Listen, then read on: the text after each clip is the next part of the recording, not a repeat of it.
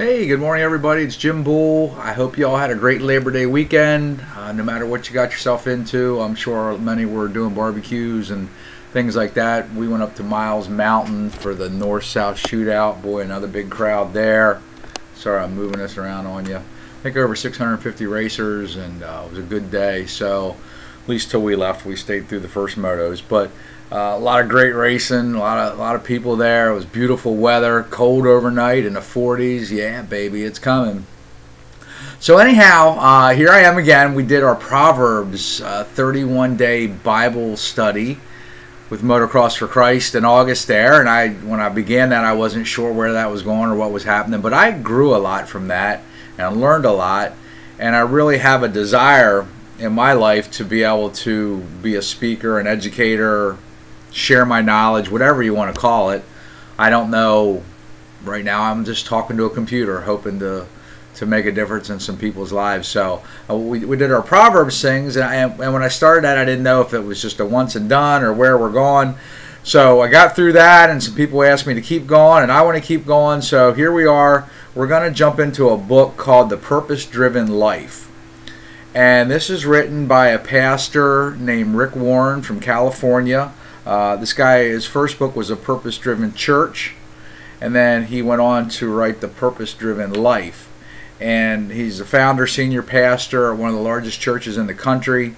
He uh, has sold 30 million copies of this book. Now, the sleeve's off of it, so you can't see what it looks like. But it's Rick Warren, The Purpose Driven Life, and I'm sure you can get this in uh, any bookstore, online, Amazon, all the major booksellers. My son found this for $2 at the local thrift store. So, again, reading can be a very uh, inexpensive way to educate yourself. And, and this book is titled The Purpose Driven Life What on Earth Am I Here For? And it goes through 40 chapters. I'm just going to give you an introduction to the book today if you guys want to get a copy or try and find it online and follow along. This book is designed to help you find your purpose in life. So I'm not going to tell you about it. I'm going to dig into it a little bit here in the very beginning.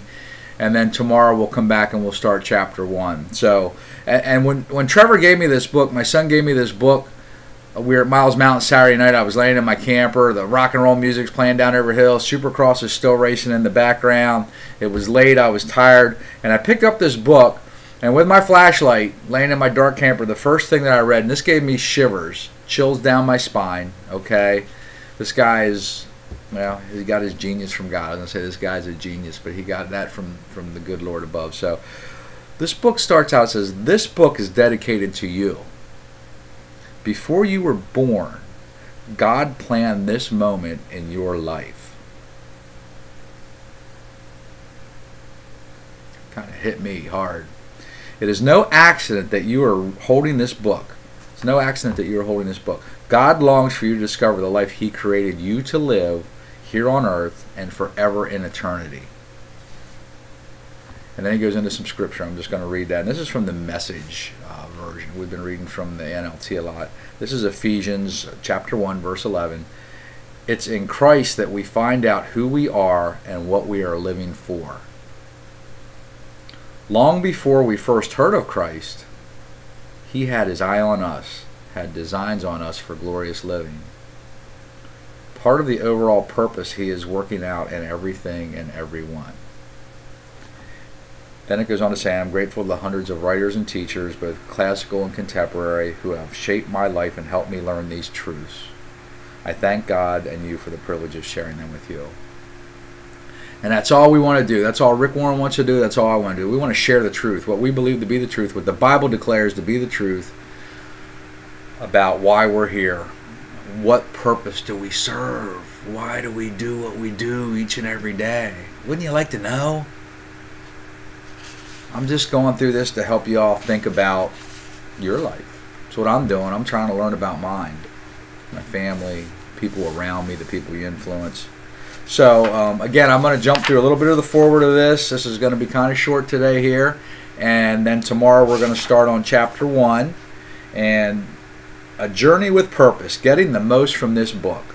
This is more than a book; it is a guide to a 40-day spiritual journey that will enable you to discover the answer to life's most important question: What on earth am I here for? What purpose do I serve? Why do I go do what I do? Some live in the rat race, some don't. Some of you have it figured out, some of you don't. I'm still looking, I'm still searching each and every day. That was Jim Bull. That wasn't the book. What on earth am I here for? By the end of this journey, you will know God's purpose for your life and will understand the big picture. How all the pieces of your life fit together. Having this perspective will reduce your stress, simplify your decisions, increase your satisfaction, and most important, prepare you for eternity. All I have to do is read that this book and figure that all out. Now the answers are here. We have to do the work, obviously. Your next 40 days. Today, today, this is this scared me too, and I had to use my calculator. Today, the average lifespan is 25,550 days. That's how long you will live if you are typical. Don't you think it would be wise, a wise use of your time to set aside 40 of those days to figure out what God wants you to do with the rest of your life? 25,550 days, people. That's only 70 years. I'm 52 already. And, and, and I don't care how old you are, but doesn't it seem like a blur? Where to go? You can think back of all the things that have happened in your life, good or bad, and you think, man, it was like it was yesterday. That's how I feel, anyhow. And it seems like, you know, the old adage, the older you get, the quicker it goes. It seems like it's true. Me, with my Brat magazine, I have a deadline every month. So every 30 days, I'm reminded that another, thir- another month of my life is gone. This, according to this cat, I only got 18 years left. That stinks. but I'm going to do something about my health too, to try and prolong that too. Let's go to 100. I want to get it. I want to double this thing. So anyhow, what are you going to do with the rest of them? Of your days, whether you're 8, 18, or 80. You know? The Bible is clear that God considers 40 days a spiritually significant time period. Whenever God wanted to prepare someone for his purposes, he took 40 days. And he gives some examples here. Uh, Noah's life was transformed by 40 days of rain. I think all our lives were transformed by that. Uh, Moses was transformed by 40 days on Mount Sinai. The spies were transformed by 40 days in the Promised Land. David was transformed by Goliath's 40 day challenge. Elijah was transformed when God gave him 40 days of strength from a single meal. The entire city of Nineveh was transformed when God gave the people 40 days to change. Jesus was empowered by 40 days in the wilderness, and the disciples were transformed by 40 days with Jesus after his resurrection.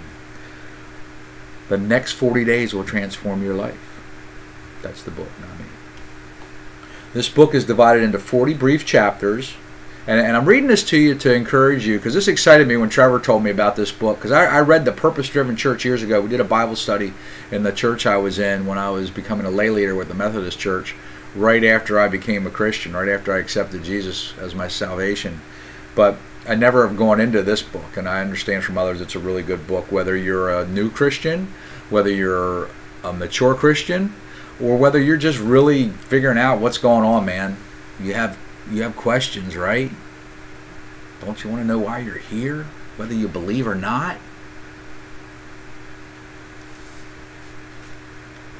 This book is divided into 40 chapters. I strongly urge you to read only one chapter a day. This really hit me hard too because I've read so much in the last 20 years. And, and like my son, he reads and he like he hits me with stuff from these books and quotes stuff, and I'm like, whoa. He's like, well, you read that book? It's like, yeah. I don't know. Maybe some of us just absorb it and some of us don't, but maybe this is the answer too. Uh, I strongly urge you to read only one chapter a day so you will have time to think about the implications for your life. The Bible says, let God transform you into a new person by changing what you think. Then you will know what God wants you to do it's so true, man. Since I accepted Jesus all those years ago, it's just been a, a, a spiritual, whatever you want to call it, growth or journey. I learn something new every day, and because it's in me, I'm figuring things out. So it says, let God transform you into a new person by changing the way you think. Then you will know what God wants you to do. Okay, and it says that one reason that most books don't transform us is that we are so eager to read the next chapter That's me. Oh, what's next? What's next? That we don't pause and take the time to seriously consider what we have just read. We rush to the next truth without reflecting on what we have learned. Don't just read this book, interact with it, underline it, write your own thoughts, make it your book, personalize it. The books that have helped me the most are the ones that I reacted to, not just read, and that's Rick Warren. So what he's saying is we're going to do a chapter a day, and then we're supposed to meditate on that, reflect on that, and we're going to do it first thing in the morning. And I hope you all join along with me and share it with your friends. I'm going to put it here on Facebook. I'm going to have it on my YouTube channel. You can go over there and watch it and subscribe to everything that I'm doing, okay, and come back to it whenever you want, okay. But we're going to read one chapter a day and then reflect on it and then grow from it. So I guess at the end of every chapter, there's going to be some features. There's going to be a point to ponder, a verse to remember, and a question to consider. Um, and then there'll be some dis- discussion questions. He goes on to say that he's praying for us, um, that uh, he hopes that we get a great experience from this. And he is quoted, uh, and this book is biblically based. Okay, this isn't Rick Warren talking to us or Jim Bull talking to you. Okay. Uh, the best way to explain God's purpose for your life is to allow the Scripture to speak for itself. So, in this book, the Bible is quoted extensively using over a thousand different verses, a thousand different verses from 15 English translations and paraphrases. Okay, a thousand different scripture verses are quoted in this book.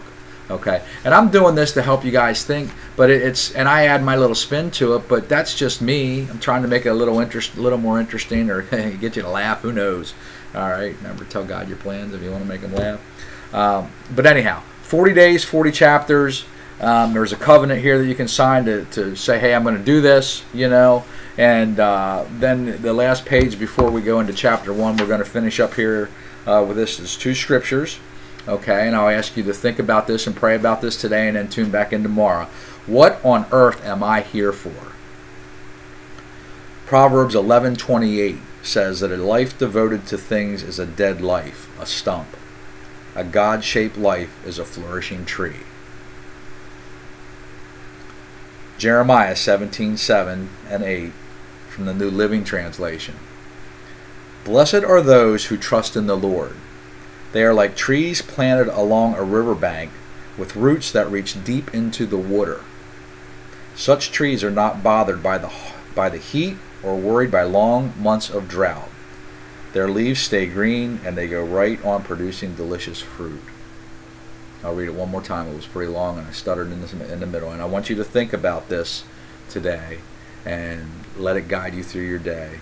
And that, that excites me, it, just what I got from it. But think about this with excitement.